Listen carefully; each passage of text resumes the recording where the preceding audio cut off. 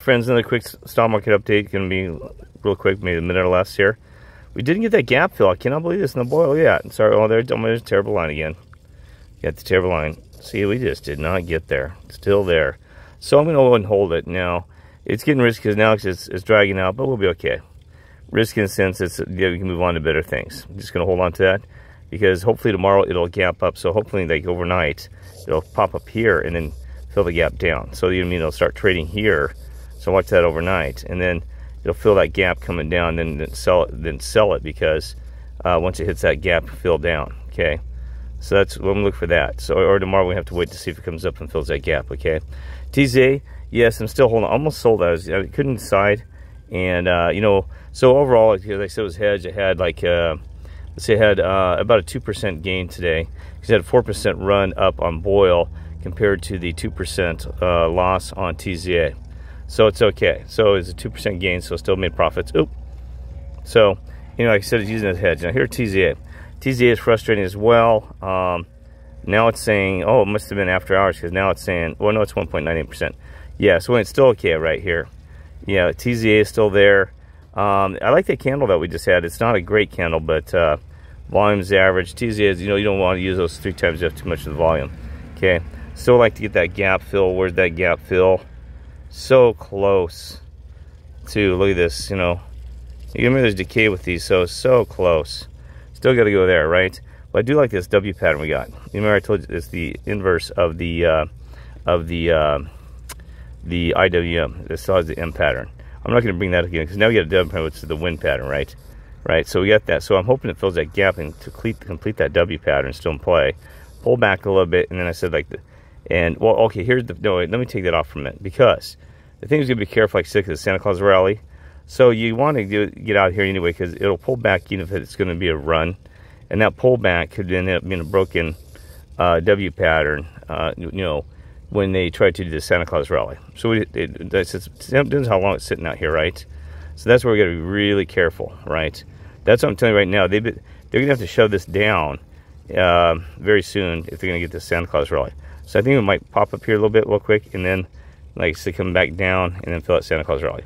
VIX is looking good though for the setup for the uh, short side. Um, it has not moved much. Let's do VIX real quick. VIX. oh my gosh, put little dots on there. VIX is really key. So we we already gone through that many times. Anything you check every day, make sure you check the VIX. VIX, not much move. You know, not much do on the downside. So VIX has got. Let's see. Let's pull this back. I'm to squash it like this. I still like the VIX setup here. It looks very good. Very healthy for uh, for a um, you know for a bear market run, right? And like I said, we got the crossover still right there, crossover, and guess what? It's got a very steep. It's it's coming out steep, which means that that's even uh, more positive for the bears. If it start if it starts going flat like this, then it doesn't complete that crossover. The crossover is perfect. And look at this. Bam, bam, and bam, it's, it's, it's heading, right? So like I said, I think this VIX we should be around 25 area before that thing pulls back again, right? I think it's pretty much going to be there 25. Let's see, what, what was our last crossover? Let's take a quick look on the MACD. MACD last crossover was right here. And see how it got really steep. So that had that steep run. So it really and then did a pullback and it just kept going up, right? And then, uh, see, I'm trying to see, show you, see if one that has a, a short term heap. See all those, see it's, it's crossed over. It's looking good. And it's looking, so you can hear this, you got the crossover there, you know, get this, then whoop, there you go. It's taking off. So if you're bull this market, you know, I mean, care what they're saying, you, you, you're, you're playing with fire. You know, you better, like I said, stay in cash or something else. There's where that, that's going to find where try to flatten out on you a little bit that's interesting because when it tries to flatten like that, sometimes it'll the market will start rolling flat like this. But it went ahead and finished the, the roll of it, right? And you, this warning sign to get out was right there, where it crossed over again, the purple through the uh, through the orange line there. That's when you had to get out, right? And, and then we had the crossover on the downside here, right here, and that one was almost too late because if you bought in here, you were done. You know what I mean? So that one was a dangerous thing. So you know, if you got in here, you were okay on there. So you would have bought, you would have bought in, you would have gone short here, The arrow's actually on the way. I'm just showing you so that spot there. And then you would have got long here. So we'd have rode this down. So even if you would have played the difference between the crossovers, you would have had that gain there, right? And you would have held this one all the way up until that spot right there. Oh, sorry, the two right there. And then you would have then you would have gotten rid of the VIX instead of markets going up. So we got this playing field here, a playing field there. So that's what I'm saying. You can play those fields. It's nothing different. It's just like football or anything else, right? And same thing, same thing else in the VIX. Again, we had the crossover kind of like we're right here. This is one I was going to show you. That see, this is one an example. See how it kind of it kind of wand, meanders a little bit. It doesn't hit it hard. It just kind of meanders to the side there. That one's where that's when you get kind of this delayed reaction and boop, then it takes off, right? And also the steeper she climbs, the quicker she's to fall. So also remember that. See, when you get those really high ramps like that, see how it comes back real quick? So be careful with those, right? Be careful when they, see like even there's a big ramp straight, and it's coming up, that ramp is just like taking a roller coaster ride and bam, see?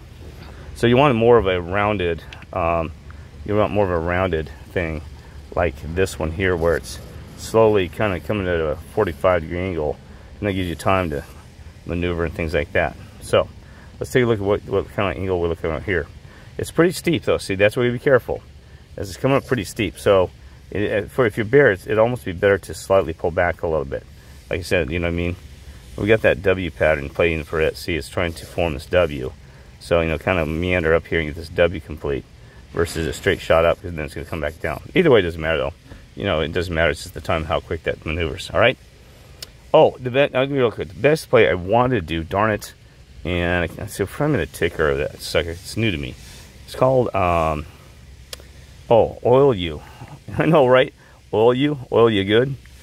All right. Oil You is one that I think is, I was going to reposition on this thing today. I was going to get rid of the TZA, but then I would have been overloading the commodities. Like I said, that would have been a little bit, would, that's too dangerous, right? But uh, I thought about unloading the TZA repositioning this thing. So I'll show you why. Look how many candles down this. This is uh, a microsector for gas and oil exploration. I, I, wish they just had a straight three times ETF oil, but that's it. Just that's a hard one, right? The, the, I think the max is two. Uh, some of them have like three, but it always has this one's times two, the opposite uh, times two the long side. But the problem with it is it has uh, gas and oil exploration is used. Well, then again, right? So here we're looking at this. You got one, two, three, four, five, six. It's got about two more bars before it's going to go back up. Oh, and see that's the that, that tells you the bottoming candle here. This this is perfect play. I almost did after hours.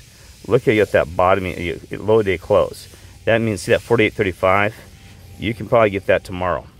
Easy, easy 48.35. Right.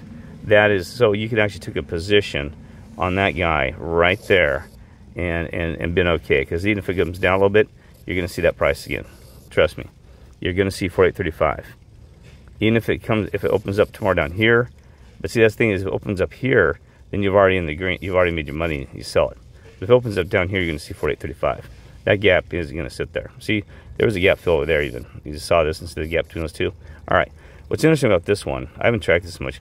Look at the volume, boy. They they washed some people out right here. Look at this volume stick, right there. Boom. See that? I told you a doji. It'll start here, come down, and do a hammer, and come back up. That's exactly what it is. That's a doji. Now that's when you want to actually take a short-term scalp. The unfortunate about that one is a very short-lived. Look at this. You had one, two days, and then it popped down and kept screwing around with it, right? So that's if a, if a trade gets worn out, if you don't see much movement after a while, like that one, two, three, four, five, six, where you're not moving, then you better you, you better get ready for that one, right? You better get ready for that stick. You know what I mean? Because the longer delays, the longer it's going to be sitting there like that, okay? Let's take a look how that's playing out right now. Um, well, we had the drop off, so, you know, as long as it doesn't go down here too long, better start climbing back up. Two or three more days. And know, because then it's probably going to go here to that 60. What is that, the 50 day moving average? Yeah, it's going to go up there and hit that 50 probably. But should they add the 20? 20 is just going to be somewhere in between the two, right? somewhere in there. I mean, you can do it mentally. You don't have to have the exact. So it's going to be in between there. So the 50 is going to be smacked out. The 100 is, oh wait, no, that's actually the 100. Sorry. Purple is 100. Is it the 100? Let's see, let's that off. Yeah, it's 100. Sorry, I was wrong. There's the 100. There's the, where's the 50? 50 is there. Okay, so it's in between the two. So 20 is going to be actually up higher. Uh, see, there's the 10. So 20 is probably going to be somewhere in, it's sloping down the 10, so it's probably going to be actually delayed to the 2 around here between the 10, the, like somewhere in there between the 50. So it's probably floating around the 20 right now, actually. I go ahead and, ch and oops. Change that one. Let's see. See that? Change the 20 just to see, because the, the reason I'm bringing that up is you got to be careful if they're smacking the 20, and uh, then you got to be careful because they're using it as a resistance on the on the move up. Let's see, 20 is now there. Let's see here. Now I have to move over to move it. So the 20, where's that sucker at? It's the purple. Is it way up there? Why is it up there? Anyway, well, I guess it's wrong. I thought it'd be between the two. It's sitting right there. So they came and hit it there, back, hit, smacked it, and they bounced down off it. So I guess wrong. I thought it'd be between the 20, but anyway, it depends. I don't know. God, so anyway, so 20. So anyway, the first move is going to have to be the 50, and then then from there you might get the get the get the uh, 20 again, right? It'll probably happen. Let's see how let's see how much they play the 20 in this one. And there's 20 there. Like I said, these these AAA tests, you're better off using something like uh, something that's closer to it on index base. Okay, hey, that's it. That's the trades. I'm still holding the uh, uh, half and half on TZ and half uh, my portfolio on the BOIL. All right, take care, y'all.